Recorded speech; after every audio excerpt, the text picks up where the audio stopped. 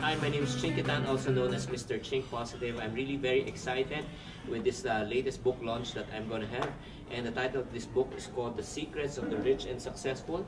And why why why was I really encouraged to write this book? Because I know for a fact that a lot of people wants to become successful and rich.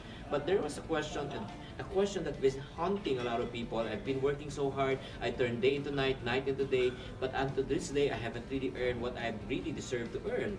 Uh, so if you have that question, I used to have also that question. But you know one thing I learned?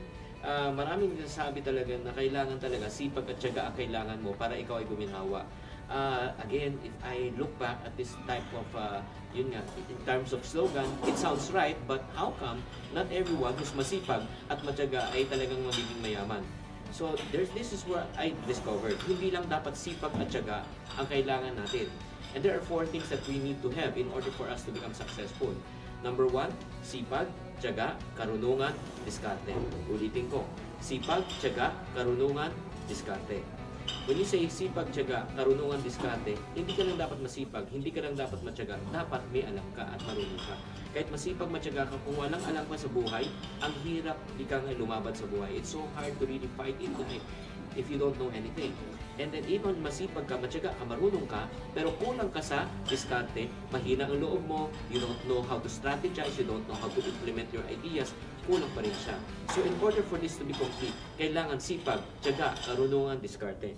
That is what I'm discussing in this book. This is only one chapter that I've just shared with you.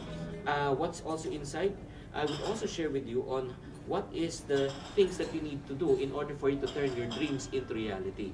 And then not only that, I would also want to share with you the power of what? Belief. When you say the power of belief, a lot of people wants to become rich, but only a few people believe that they are going to become what? Rich. So very, very important. You just don't only hope and you want to become rich. You got to believe. Kailangan maniwala ka.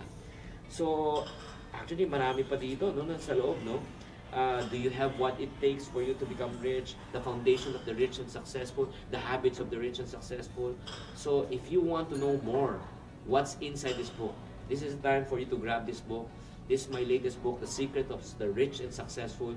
And the reason why I'm really so excited because I've interviewed a lot of people who are rich and successful and they share to me their ideas and I compile this in, this book. So if you want to know their secrets, all you need to do is just grab this book. And if you grab this book, and I can assure you, if it changed your mindset, it will change your life. Thank you very much. As this Chinky Tan always say, to every problem, there's always a solution. If you're not part of the solution, you're part of the problem. Always think positive.